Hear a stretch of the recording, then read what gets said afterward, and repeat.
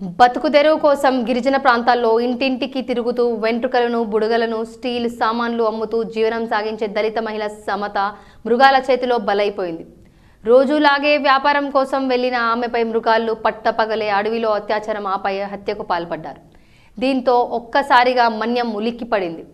తాగిన మైకంలో బాధితురాలిపై కత్తితో దాడి చేసి చేతి వేళ్ళు కాళ్ళు నరికి బలత్కారానికి పాల్పడిన తీరు కలిసివేసింది బతుకు తెరువు కోసం వచ్చిన దళిత మహిళపై దాడి జరిగిన తీరుపై ఉమ్మడి జిల్లా వ్యాప్తంగా నిరసనలు వ్యక్తమయ్యాయి. గురువారం నేరస్తులకు ఉరిశిక్ష విధించడంపై స్థానికులు దళిత మహిళా సంఘాల నుంచి హర్షం వ్యక్తమవుతోంది.